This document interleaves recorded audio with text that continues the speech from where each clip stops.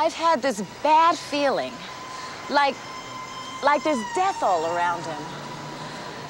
My father is in terrible danger. I know it. But I don't know what to do. I know someone who might.